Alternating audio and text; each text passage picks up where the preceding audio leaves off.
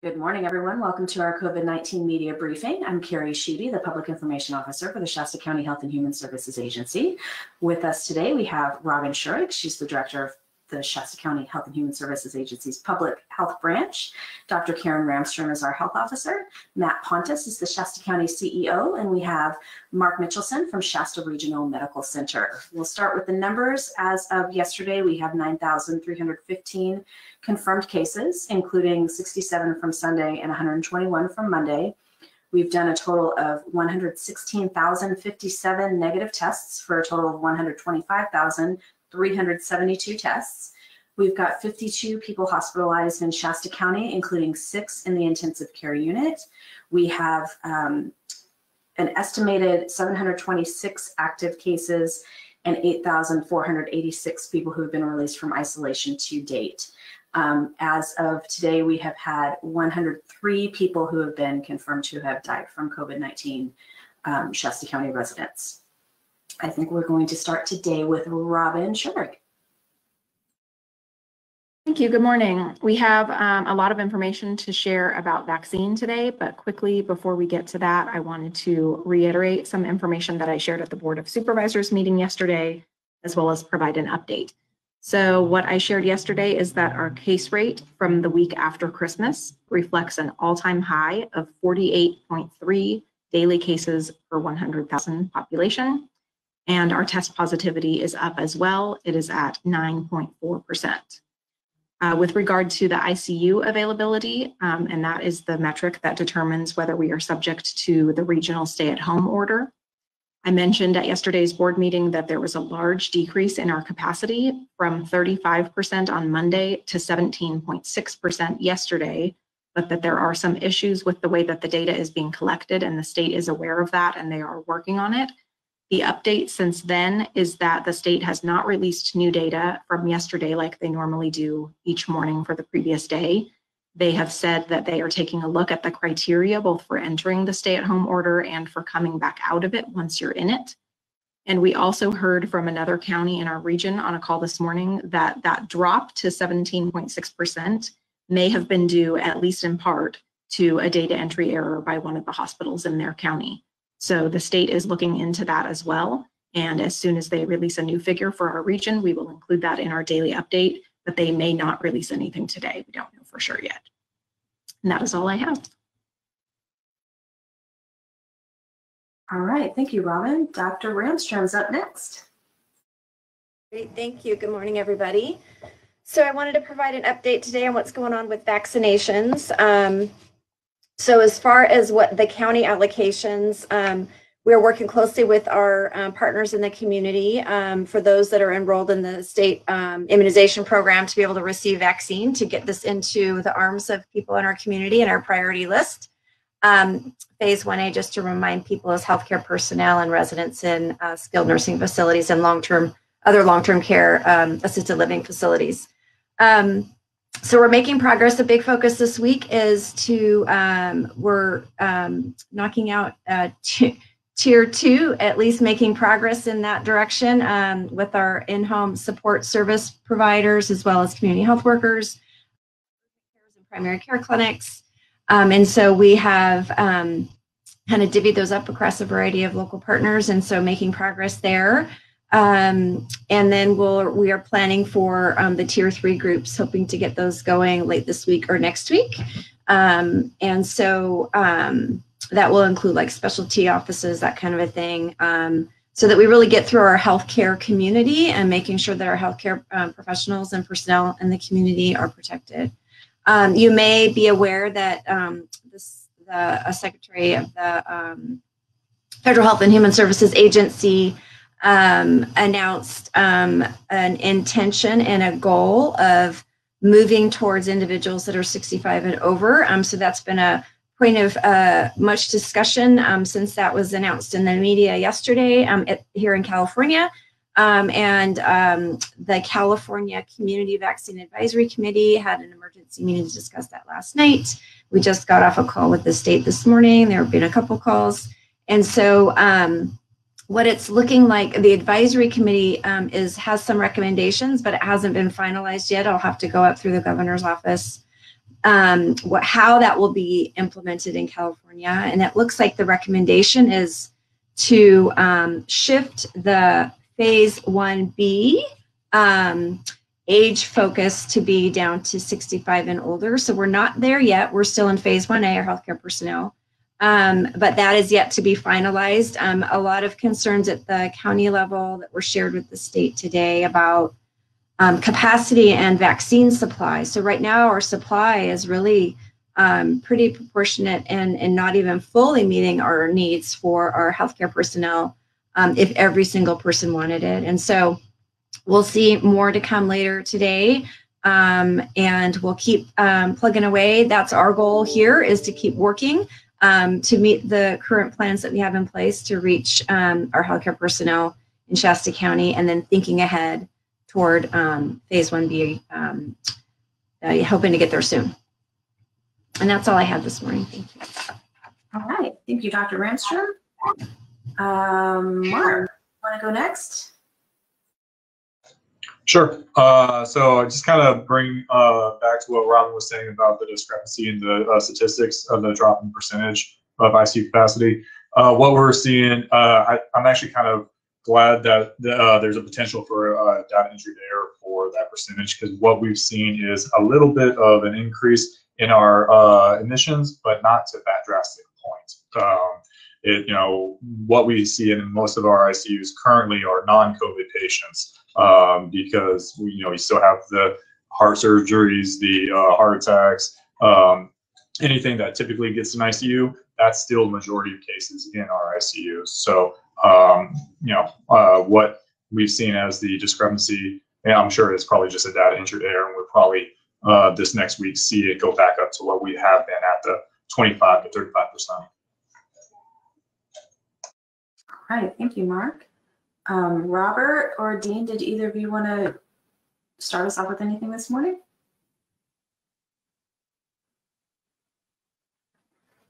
Robert, uh, why don't you continue on with the hospital report?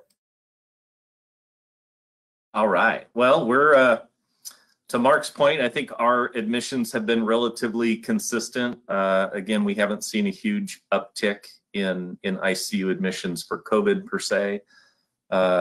I'll tell you on a personal note, we watch this on a daily basis. It's kind of like watching the stock market, and it's probably not a good thing because every time I see that little dip, I think, oh, maybe we're going to get there, and then we will see a little increase. So we're hopeful. Uh, we continue to work with all of the healthcare providers in getting them vaccinated. Uh, I can share that we're probably right about a 50% mark with our own staff.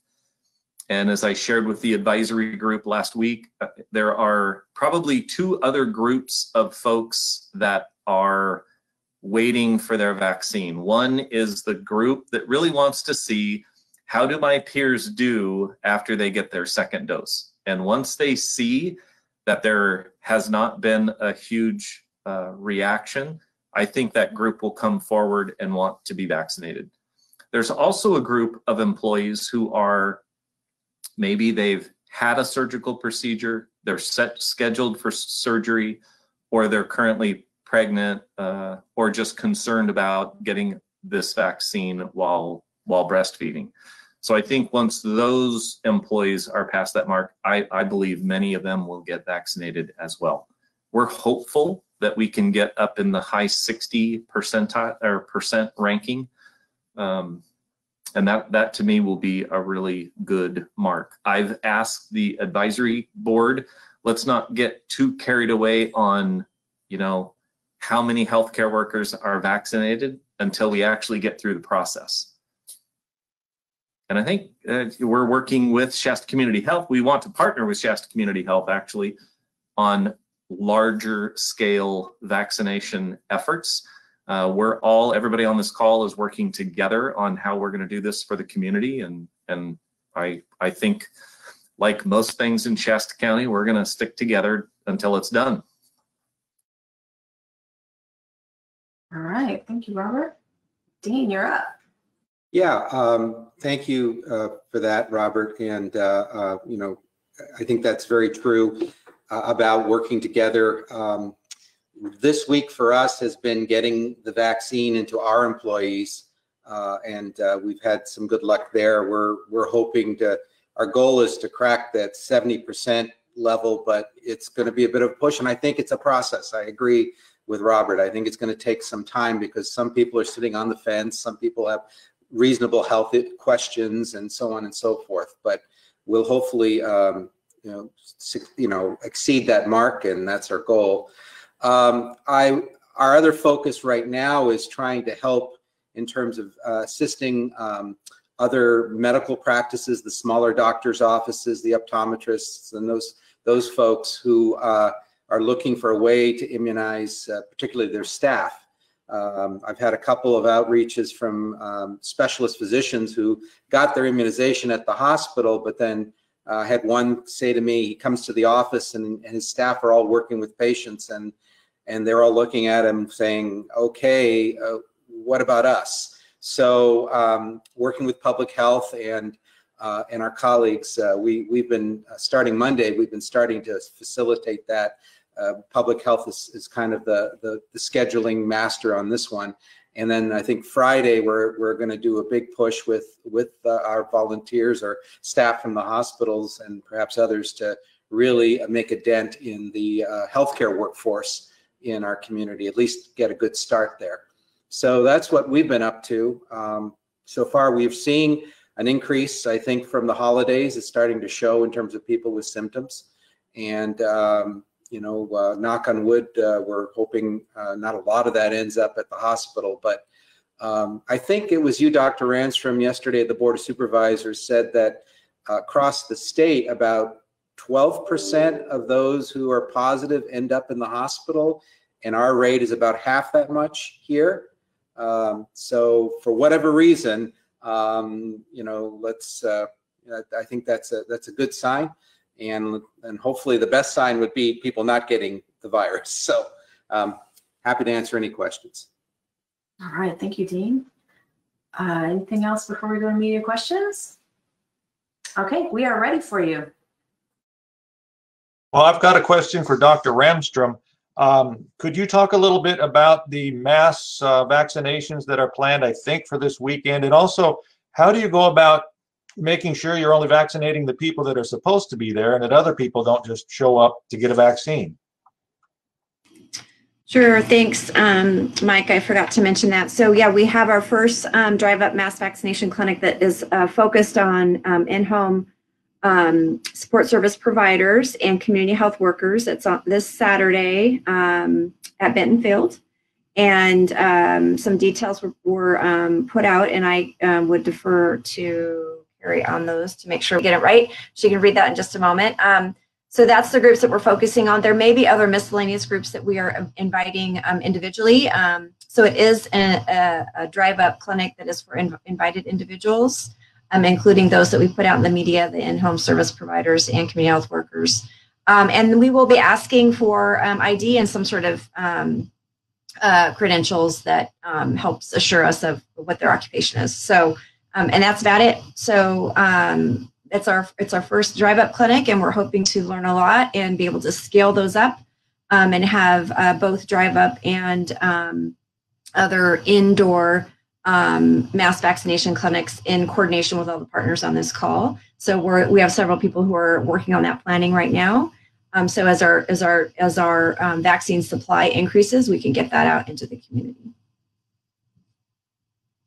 Thank you. And then I have one little sort of follow up to Dean's. Uh, he, he mentioned that maybe only 6% of the people end up in the hospital. But yesterday, I believe it was uh, related by Robin that um, 96% of the people hospitalized have one extra comorbidity. Does that sound right? That's correct. 96% of people who are hospitalized for COVID also have another underlying condition that probably contributes to the severity of their illness from COVID. So we can say almost all the people hospitalized are there for more than one reason. Well, they're there for it to be cared for for their illness. They're not there for their other conditions, but they also have those conditions, which, like I said, can sometimes, you know, exacerbate their illness from COVID. Right. And we have to remember too that the conditions that the people have that um, are hospitalized are very common conditions in our community. And so we're pulling that information together to make that clear. Um, so these are just, you know, h- high blood pressure or um, um, COPD or obesity. I mean, so there's they're very common um, conditions that people have, and so it could be any of us really that end up in the hospital. And we do know of of young people that are hospitalized too that you would think that you know would be able to recover. Um, so we, we we're going to work on that messaging because I don't want to dismiss it and for people to think, oh, I'm healthy, I don't have anything.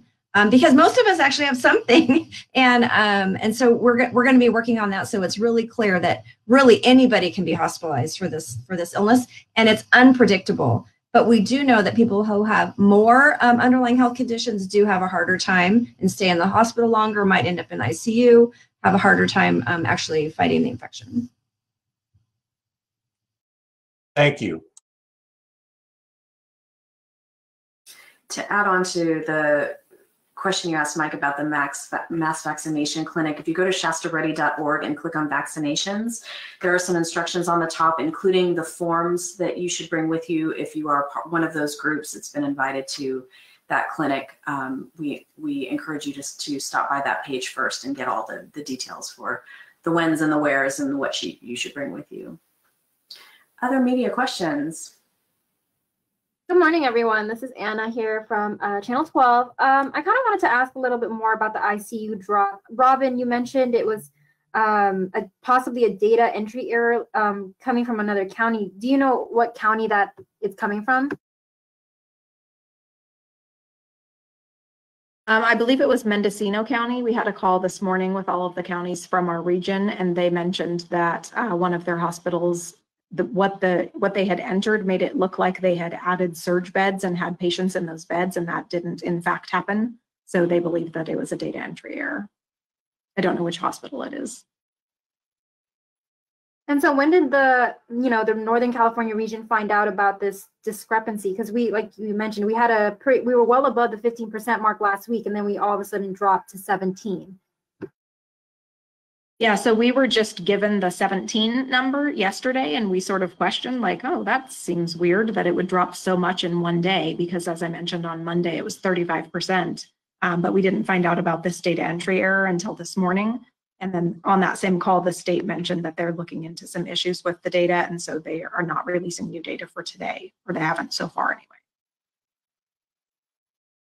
But is it a possibility, like, like say it wasn't um, a data entry error, and we are in that 17%, how close could the county be to reaching that 15% regional stay-at-home order?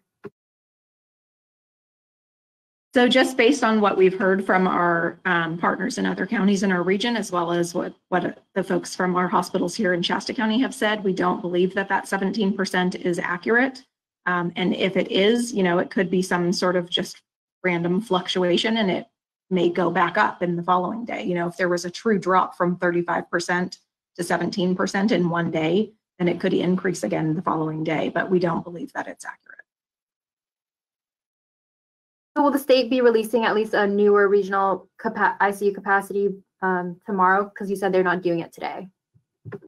They have not told us what their plans are beyond that they didn't release a new number this morning and they're looking into it. Thank you, Robin. And then um, this one's for the hospitals. Um, I know Mark and Robert, you touched upon a little bit. I wanted to just follow up and ask, like, um, right now, what is your ICU capacity looking like? I know, Mark, you mentioned that most of your, it looks like most of your ICU is non-COVID patients at this time. Yeah, that's correct. Um, I think our COVID in the uh, number in the ICU is pretty minimal, and we've got uh, a good ability to flex up uh, if we do get a surge, but right now it's all non-COVID uh, type patients.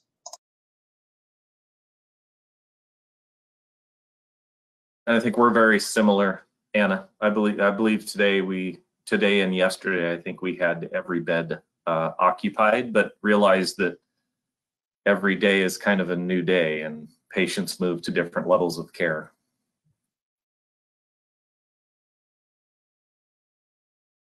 Thank you. If I have any follow-ups, I'll just pop in again.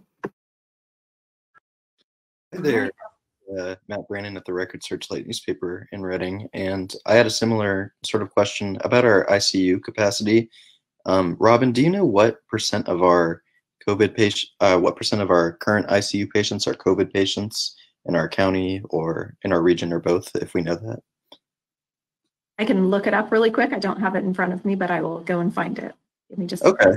No, no worries. I can ask a different question then while while that's happening. Um, for Dr. Ramstrom, I wondered, you know, I've heard about other counties that have extra vaccine over that they can't get rid of it fast enough because some people are declining to take it.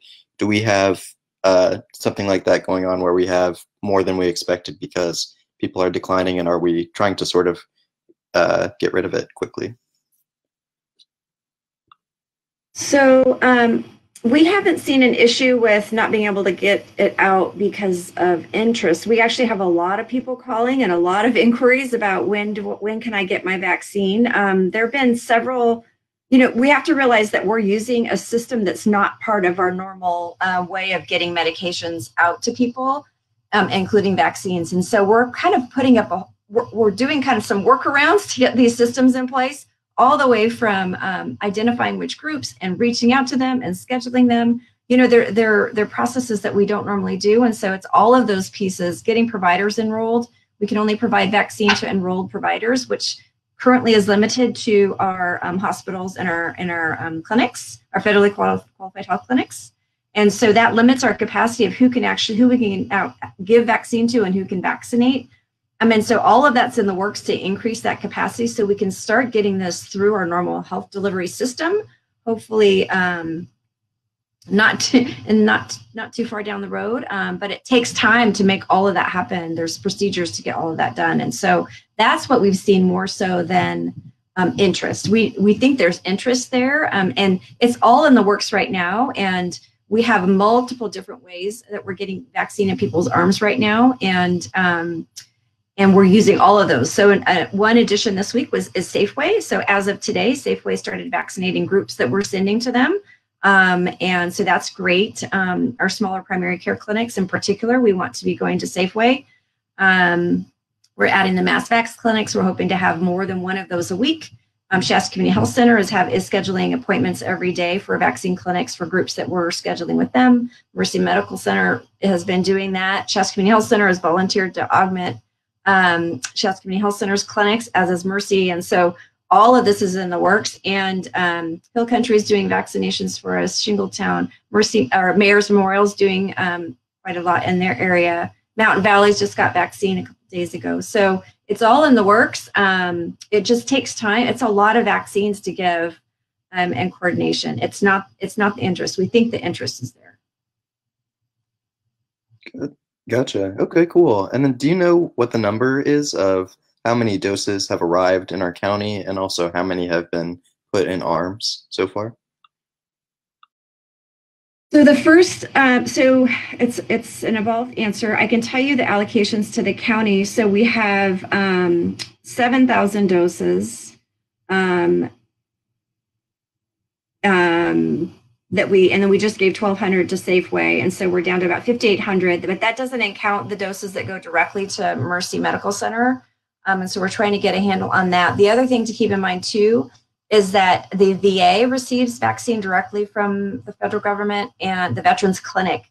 The va home um, that's a separate um, um, situation but the veterans clinic gets it from the feds as do um, River and Redding Rancheria are getting it from Indian Health Service. So um, we're looking forward to be able to get that information out of the California Immunization Registry. Um, and so we're looking into that so that we can see countywide the number of doses that have been received and administered um, to people. Okay. And that 7,000 number you said that does or does not, just to clarify, include the uh, uh, tribes and uh, VA? It doesn't. It's a separate. That's actually allocated to public health to give out to our health to um, our uh, vaccinators, which are our providers in the community. Gotcha. Okay. And then I know in the past you've spoken about the uh, partnership program with pharmacies coming in to vaccinate our nursing homes. Do we know about what percentage of residents or staff we're through? Do we know if we're like 5% done with that or? 50 or where we would be around? I can't give you a percentage, but I can tell you, um, I added up what we got a couple days ago, um, which was about 500 individuals vaccinated, but that didn't include some clinics that happened a day or two before that. Um, so it's more than 500. Um, and I believe all but two of our facilities um, have started. One starts tomorrow. So um, after tomorrow, we'll only have one facility that hasn't initiated vaccination yet, and that starts next week. So um, they're making pretty good progress, and keeping in mind too that um, so they're vaccinating both staff and the residents. So those numbers include both. Gotcha. Thank you. And then you also mentioned the uh, possible plan. It hasn't been finalized, but that they might shift prioritization in 1B to people 65 and old. Do we, if that change happens, um, is that something that would be happening in the next few days or weeks, or do we have an idea of what the, what will happen there? Yeah, so that was a national um, change. And so the state of California is determining how to implement that here based on our populations and where we are and getting this out to our healthcare personnel in phase 1A. Um, and so I believe there will be an announcement from the governor's office today about that. Um, but but the intention um, from the California Community Vaccine Advisory Committee that looked at that national recommendation, they met last night. Their intention is to keep phase 1A as it is. That's currently continues to be the first priority. Um, and then phase 1B, what they did is they lowered the age from 75 to 65. Um, but that adds a lot of people and more people than we have vaccine for. So that's the that's the decision that needs to be made. And every community is going to have to approach that based on their supplies and their own population demographic.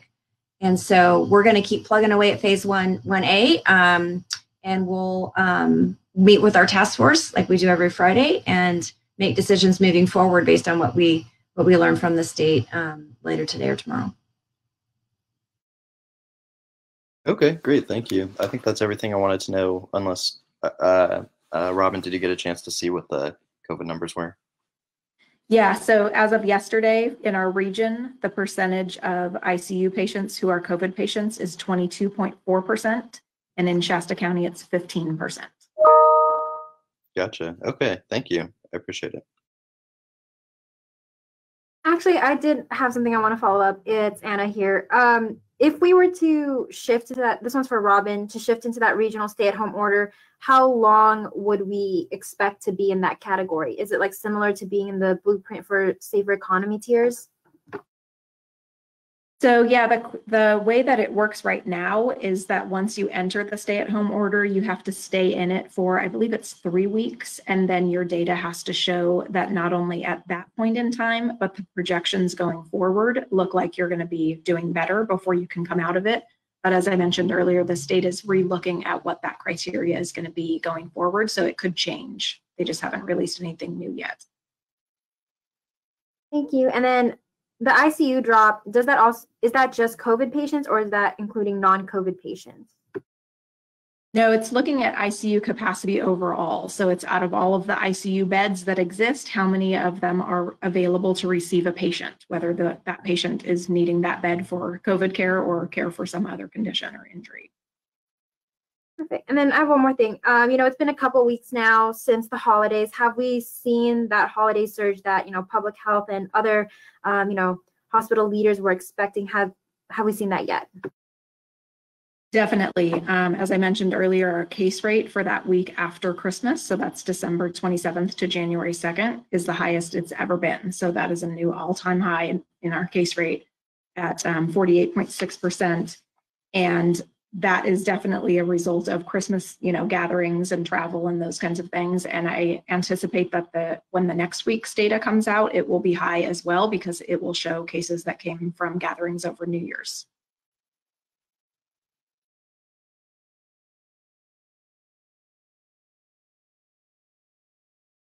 Anna, did you have anything else? No, sorry. I think that kind of covers it for me. sorry. And, and just to reiterate what Robin is saying, um, we would we would certainly encourage you to um, to allow us to confirm that that has in fact been a drop in the ICU before, you know, we, we share that as news because it may not be correct. It, we'll know soon, but right now we cannot confirm that there has actually been a drop to that 17% level in the ICU because it might have been a mistake. Um, any other media questions? Oh, sorry, Dean, go ahead. No, I, I, I didn't want to lose one point that Dr. Ramstrom, you made again yesterday, the Board of Supervisors. And, you know, we're very focused on hospitalization, ICU capacity, rightly so right now.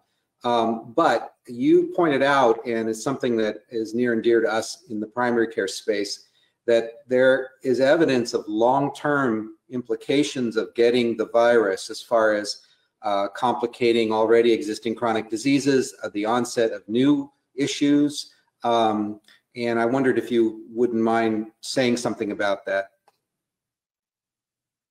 Yes, thank you, Dean. So um, you're absolutely right. And there's more and more studies coming out across different populations. Some of these are um, population-based surveys. Some of them are in particular clinics that primary care, and they just they report on all of their patients that have had COVID and any long-term um, ongoing symptoms. And so um, across these studies, it's been varying percentages, but pr- really pretty high at six months. Um, there's a variety of symptoms.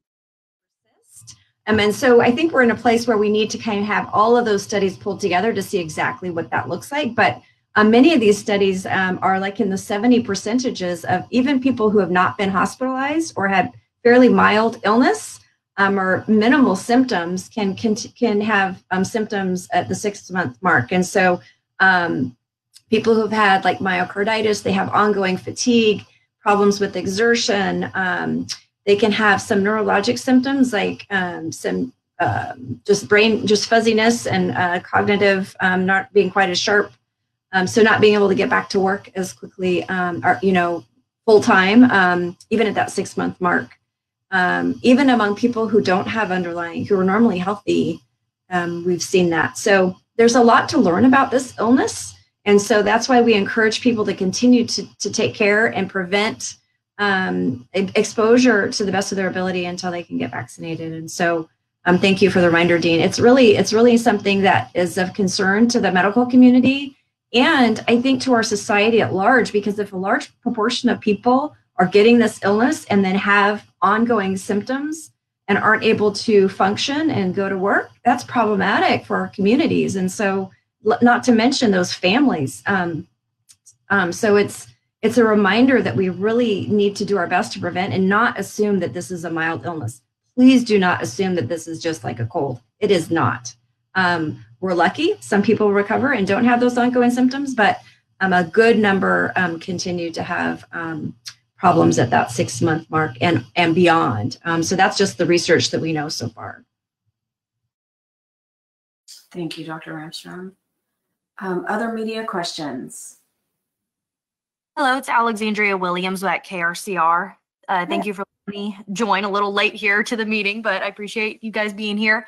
Um, we were interested in doing a, uh, a story today about how the in-home supportive services caregivers are now able to do the clinics and get their COVID vaccine at our local Safeways. So I was wondering if someone could elaborate on the screening process for that. So what I would say is so um, our, our drive up clinic on Saturday and the access to vaccination at Safeway, all of these are by invitation because we're trying to get the individuals that are high risk in phase 1A vaccinated. And so we've outreached to them in particular and invited them um, to come and get vaccinated in those two locations. And so Safeway would be, way would be asking for um, identification and they have a registration process and they know the groups that we've sent to them. So that's how that works is that it's in, you know, it includes um, primary care um, providers too, and their staff have been referred to Safeway as well. Okay, thank you. And I just wanted to clarify because I spoke to someone, uh, a representative for Safeway earlier this morning, and they redirected me to the uh, code 22, I believe, that was sent out by Public Health, where they can apply online for an appointment. Does that apply to this as well? So the process the process is, is that we work with Safeway and we say, X group we're vaccinating right now, so IHSS workers, for example. And, and then Safeway sends us um, access to appointments that we share with that group. Okay, great. Thank you. Is there anything else we need to know about that screening process for these uh, in-home uh, caregivers? So um, basically, they would need to go um, to come to our drive-up clinic on Saturday, um, as Kerri just described, or they are welcome to um, try and get an appointment at Safeway um, with the links that we have shared um, with that group. Great, thank you.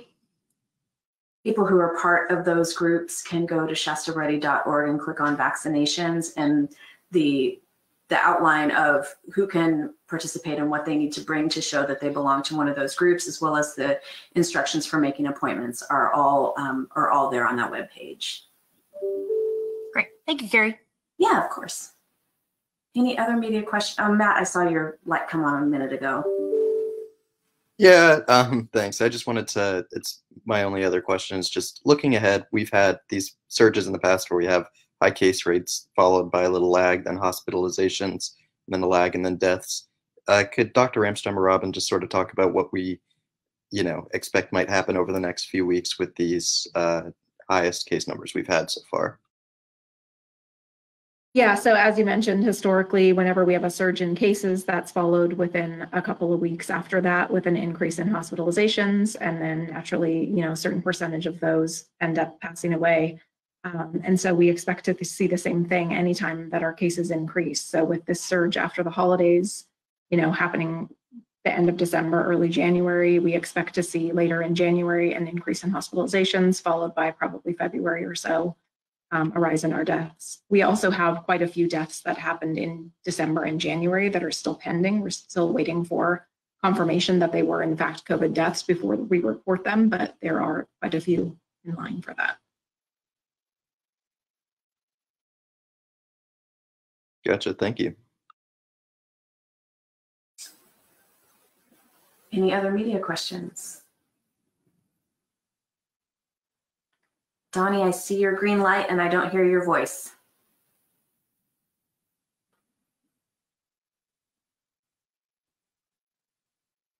Hmm, do you, we'll give you a second if you want to put the, your question in the chat box.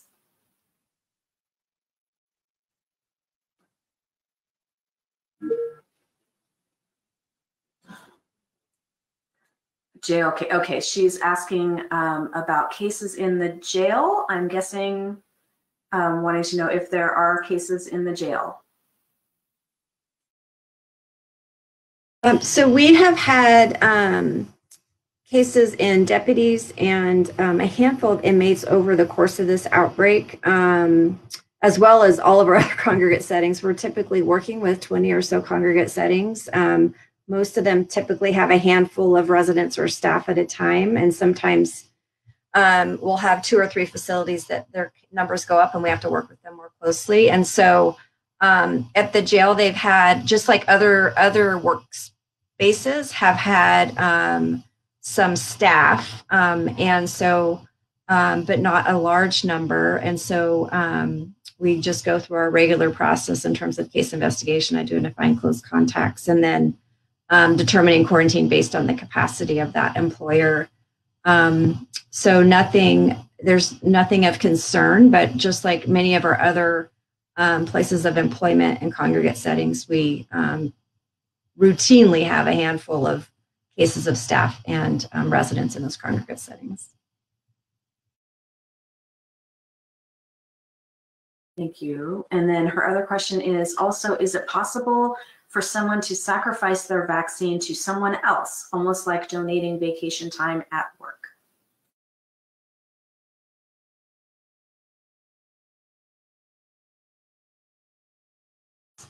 I think somebody has It's to. an fit interesting in. question. Yeah, go ahead, Gary.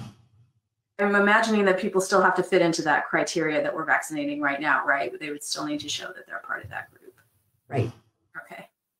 And then her other question is, so Shasta County has a lower percentage of those with COVID who end up hospitalized, but they stay longer. Do we have any idea why that might be? So our best guess, we don't know for sure, but our best guess is that the reason that we have fewer people who end up in the hospital in the first place is because many of our cases have been in younger people who, you know, in theory are less likely to acquire severe illness and end up needing hospitalization.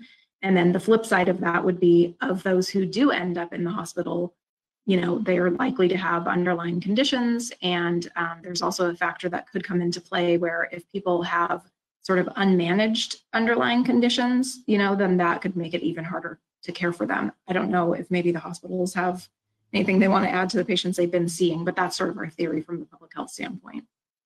Not, not so much that, I'm, I'm not a physician, so I'm not speaking from, from that standpoint. But the other dynamic that we have here in the North State, besides having many people with multiple comorbidities, is we don't have all of the post-acute resources that we used to have. So, you know, the, the Camp Fire, we lost some of our post-acute resources. And then as we've gone through this pandemic, some of our normal resources that are available to us aren't because, you know, they're, they're unable to admit. So I don't know if I, I would think that that contributes to some of the difference as well.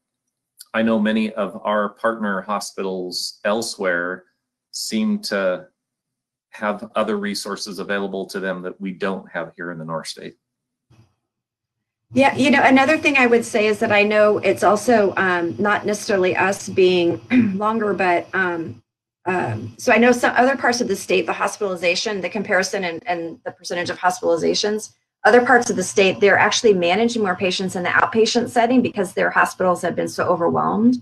So that uh, it has to be factored in as well um, in terms of how we compare to um, other regions of the state.